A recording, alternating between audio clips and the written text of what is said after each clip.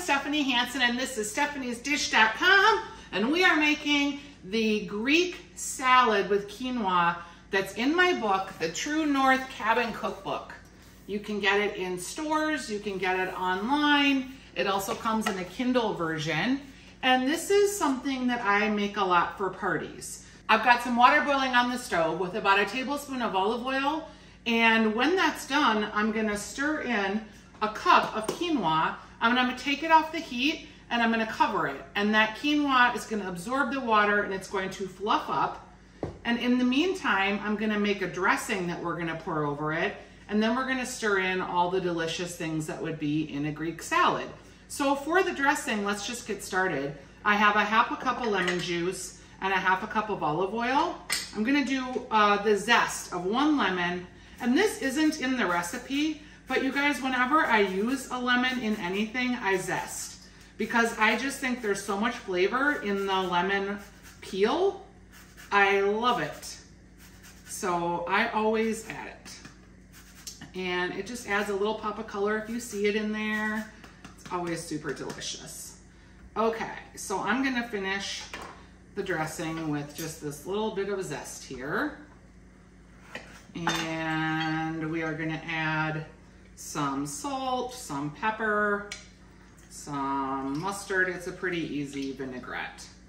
That's gonna give us a lot of flavor. And if you think about it, like quinoa, doesn't have a huge flavor profile, so you need a lot of dressing to carry that flavor through. The other thing that I'm gonna add is garlic. And you can chop the garlic. What I like to do whenever I'm using garlic in like a dressing preparation like this is to microplane it. Again, I'm obsessed with my microplane, but I like to do that because it really breaks it down so that nobody's getting like a hunk of garlic in their mouth when they're chewing. So we've got our dressing. Just gonna get a little bit of the microplaned garlic here. We're looking for two cloves. I feel like when you're writing recipes, it's really hard with garlic these days because some of the cloves are gigantic. So when I say like two cloves, if you have a gigantic clove, that can be a lot of garlic. So I try to think about like, okay, what would a normal size clove be? And go from there. This is what I consider a normal size clove. That other one was pretty giant. So I'm gonna go ahead and just whisk up my dressing. Let it get its flavor on. I'm gonna put a teaspoon of pepper, teaspoon of salt, and this is gonna be how we're gonna dress the quinoa. But first, let's get it finished. So again, I'm gonna add a cup of quinoa and I'm just gonna let it sit. All right, so we finished our dressing. Our quinoa is absorbing. When you're dressing a quinoa salad, I like to put the dressing on when the quinoa is still warm, but then I kind of wait because I don't want to add like the feta cheese from the Greek salad and the cucumber and have the quinoa be too hot because it's just going to make the vegetables not so fresh. So I'm going to come back to you and we'll go ahead and get the assembly going. But first I want to show you a tip. Okay, so here is a Hansen hack. You see these, this is parsley. And what it is, is it's inside a mason jar. And that mason jar has a small juice glass full of water in it. And what I do is I cut the parsley stems, so I get a fresh cut, and I stick that in the mason jar in the water. That has been seven days worth of parsley sitting in the refrigerator and it looked fresh.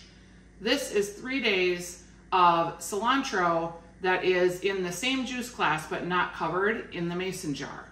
And dare I say what it would look like if it was just wrapped in a plastic uh, container or a plastic bag, or even if it was wrapped in a paper, um, paper towel, a wet paper towel, which is how they say to store herbs a lot. You guys, this trick creates like a, an environment that's humid, that the herbs love, but they don't get soggy because only their stems are in the water. I have kept mint and I've kept parsley and even cilantro, I can get two weeks out of it. Parsley and mint, I can get about three weeks.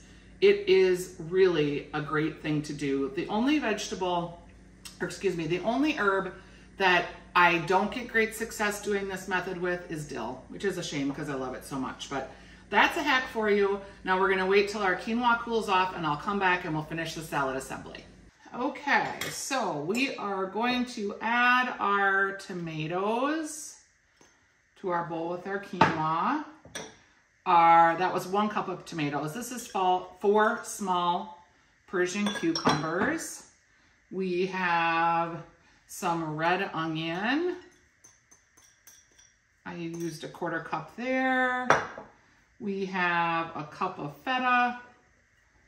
We have a quarter cup of green onions. We have a quarter cup each of mint and parsley. I've got them all in there. And then I just realized I need to get the Kalamata olives. All right. So delicious. Okay, we've got all of our dressing in here. I probably should have used a larger bowl, but you'll get the idea as I go around and toss.